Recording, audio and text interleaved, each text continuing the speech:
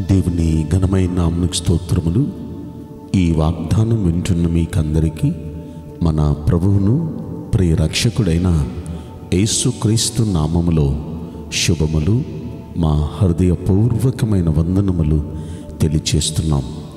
ఈరోజు దేవుని వాగ్దానం ఇర్మియా గ్రంథం ముప్పై ఒకటవ అధ్యాయము పన్నెండవ వచనం.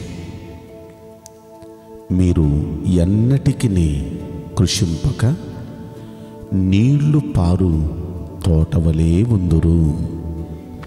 ఈ మంచి వాగ్దానం మన మంచి దేవుడు మన అందరి వెనుకడిలో నెరవేర్చునుగాక. ఆమెన్. ప్రియ దైవ జనాంగమా మన దేవుడు మనకిస్తున్న శ్రేష్టమైన వాగ్దానం చూడండి. ఇన్నాళ్ళు ఒకవేళ రకరకాల సమస్యల్లో నలిగిపోతున్నారేమో ఒక్కొక్కసారి కృంగి కృషిస్తున్నారేమో ఒక్కొక్కసారి చాలా బాధగా ఆవేదనగా దిగులుగా ఉంటున్నారేమో. ఈరోజు ఎంత చక్కని మాట. ఇక ఎన్నటికీ ఎన్నటికీ మీరు కృషించరు. కృంగిపోరు నీళ్ళు పారే తోట ఎలా పచ్చగా ఉంటుందో మీరు ఇక నుండి అలా పచ్చగా ఉంటారు అనే మాట మనం ఇక్కడ విన్నాం. ఈ మాట మనం పరిశీలిస్తే ఇది మన జీవితంలో నిజంగా నెరవేరితే ఎంత బాగుండు? ఖచ్చితంగా నెరవేర్చడానికే కదా ప్రభు ఈ వాగ్దానం ద్వారా దేవుడు మనతో మాట్లాడుతున్నారు.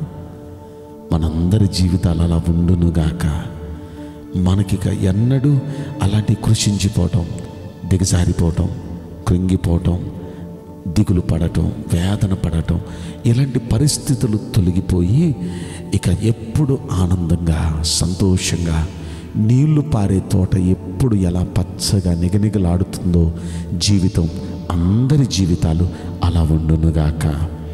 కాబట్టి ఇలా ఉండాలంటే ఏం చేయాలి? ఇదే ఇర్మియా గ్రంథం ముప్పై ఒకటో అధ్యాయంలో తొమ్మిదో వచ్చుల్లో మాట్లాడతారు. వారు ఏడ్చుచూ వచ్చెదరు. వారు నన్ను ప్రార్థన చేయుచుండగా నేను వారిని నడిపిస్తా ఎలా నడిపిస్తానంటున్నారు?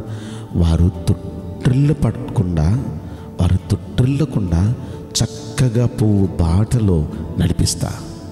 నీళ్ళ కాలువల యొద్దకు వారిని నడిపిస్తా. మన దేవుడు మన చేయి పట్టి నడిపిస్తాడంట. చక్కగా పోయే బాటలో తొట్టు పడకుండా పడిపోకుండా అరే అరే అరే అనే పరిస్థితి రాకుండా అరే దెబ్బతిన్నాను అరే పొరపాటుని ఇలా చేశాను అరే పొరపాటుని ఇలా మాట్లాడాను ఇక అరే అనేది ఉండదు చక్కగా పోయే బాటలో. అంటే అంత చక్కగా జెంటిల్గా చేసేదంతా పర్ఫెక్ట్గా ఇక ఎక్కడ ఏ విధమైన లోపం లేకుండా పర్ఫెక్ట్ మార్గంలో దేవుడు నడిపిస్తాడంట. ఆ మార్గంలో కూడా ఎలా ఉంటుందంట? నీళ్ళ కాలువల యొద్దకు నడిపిస్తాడు. నీళ్ళ కాలువల యొద్ద అంటే మనకెప్పుడు ఆ నీళ్ళ కాలువల యొద్ద ఉన్న చెట్టు పచ్చగా ఉన్నట్టు మనల్ని అలాంటి నీళ్ళ కాలువ యొద్దకు నడిపిస్తాడు. అంటే మనకి ఇక సమృద్ధి. నీళ్ళ కాలువల యొద్ద అంటే ఇక సమృద్ధి. దిగుల్లేని పరిస్థితి. దిగుల్లేని పరిస్థితికి నడిపిస్తాడు. అలా చే దేవుడు నడిపించాలి అంటే మనం ఏం చేయాలి? వారు ఏడ్చుచూ వచ్చేదారు. అంటే దేవుని సన్నిధిలో ఆయన సన్నిధిలోనికి ప్రార్థన చేయడానికి వచ్చినప్పుడు ఆయన సన్నిధిలో మోకరించినప్పుడు మనం కన్నీటితో ప్రార్థన చేయడం నేర్చుకోవాలి. ఎందుకంటే కన్నీటి ప్రార్థనను ఆయన దాటి వెళ్ళిపోడు. గుండెల్లో మనం వేదనతో మనం ప్రార్థన చేస్తే మన బైబిల్ గ్రంథంలో చూస్తాం వేదన నొందిన దేశము మీద మబ్బు నిలవదు అని. అంటే ఎవరైతే వేదనతో ప్రార్థన చేస్తారో అలాంటి వేదనతో ప్రార్థించే వారి కుటుంబాల మీద వారి జీవితాల మీద అడ్డొచ్చిన మబ్బులు. దేవుని ఆశీర్వాదానికి అభివృద్ధికి దైవికమైన దీవెనలకి అడ్డొచ్చిన ఏ మబ్బులు వారి మీద నిలవకుండా దేవుడు ఆ మబ్బులు తొలగించేస్తాడు. దేవుని ఆశీర్వాదపు కిరణాలు దేవుని దీవెన కిరణాలు ప్రతి కుటుంబం మీద పడతాయి. కనుక అలా పడాలంటే మనం కన్నీళ్ళతో ప్రార్థించాలి. బైబిల్ గ్రంథంలో మనకు తెలిసిన కొన్ని సందర్భాలు. హన్న దేవుని సన్నిధికి వచ్చినప్పుడు ఆమె బహు దుఃఖాక్రాంతురాలై బహుగా ఏడుస్తూ కన్నీళ్ళతో దేవుని పాదాల దగ్గర ప్రార్థించింది. ఆమె దేవుని పాదాల దగ్గర చేసిన ప్రార్థన దేవుడు ఆలకించారు అంగీకరించారు. ఆమె ఇక దుఃఖముఖంగా ఉండి ఇక ఏడవలసిన పరిస్థితులు లేకుండా ఆమెకు ఆ రోజే వాగ్దానం చేశాడు. అమ్మా వచ్చే ఈ రోజుకి నీ ఒళ్ళో బిడ్డ ఉంటాడు. ఆ బిడ్డ బ్రతికినంత కాలం ఇజ్రాయేలీల పైన ప్రవక్తగా ఉంటాడు. అతని పేరు సమూయలు. దేవుడు ఎంత చక్కని వాగ్దానం చేశాడు. ఎంత వరాన్ని దేవుడు ఇచ్చాడు. ఇక ఆమె ఎప్పుడు సంతోషంగా ఉండే భాగ్యం. ఇక ఆమె కృషించిపోయే పరిస్థితి లేదు. ఆమె క్షీణించిపోయే పరిస్థితి లేదు. ఇక ఆమె దిగులు పడే పరిస్థితి లేదు. ఆమె ఎప్పుడు పచ్చగా ఆనందంగా ఉండే పరిస్థితి. ఇది మాత్రమే కాదు బైబిల్ గ్రంథంలో ఇలాంటి భక్తుడు చాలామంది మనకు కనిపిస్తారు కదా. కన్నీళ్ళతో ప్రార్థించిన వాళ్ళందరి జీవితాల్లో దేవుడు మంచి మంచి జవాబులు ఇచ్చాడు. కనుక మనం కూడా కన్నీటి ప్రార్థన మాకు నేర్పించండి అయ్యా అని మనం అడుగుదాం.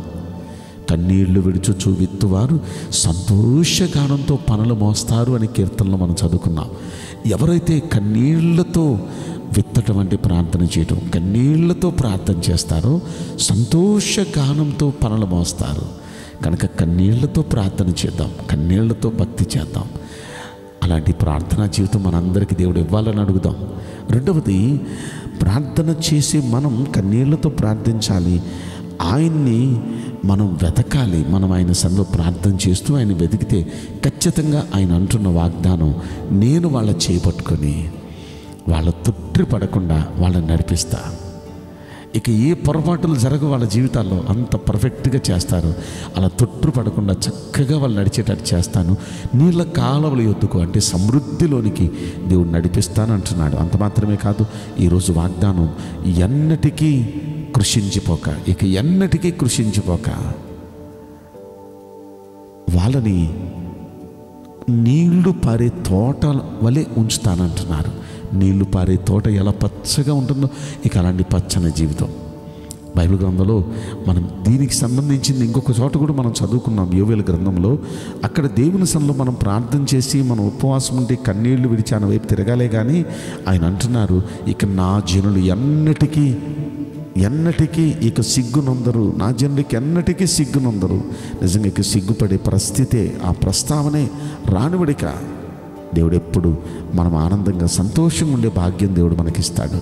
ఈ వాగ్దానం వింటున్న మీ అందరి జీవితాలు మనందరి జీవితాలు అలా ఉండునుగాక. ఆమెన్. నేను మీకోసం ప్రార్థన చేయబోతున్నాను. పరిశుద్ధుడా ప్రేమకలేసు రాజా మీ పరిశుద్ధ బంగారు పవిత్రమైన నామునకు నిండు మనసుతో కోట్ల కొలదిగా స్థుతులు స్తోత్రములు వందనాలు చెల్లిస్తున్నాం. ఈ వాగ్దానం వింటున్న ప్రియుల జీవితంలో దయచేసి ఈ వాగ్దానం నెరవేర్చి కృప చూపించండి. అయా నీ బిడలు ఎన్నటికీ కృషించక ఎన్నటికీ దిగులు పడగా ఎప్పుడు సంతోషంగా ఆనందంగా ఉండినట్లు అయ్యా నీళ్ళు పారే తోట ఎలా పచ్చగా ఆనందంగా ఉంటుందో అందరి జీవితాలు అలా ఉండునట్లుగా కృప చూపించమని. ఈ కొద్ది మనవులు నజరుడని యేసుక్రీస్తు ప్రశస్తమైన నామములో మిక్కిలి వినయముతో ప్రార్థించి బ్రతిమలాడి వేడుకుంటున్నాం ప్రియ పరలోకపు తండ్రి. Amen may God bless you all thank you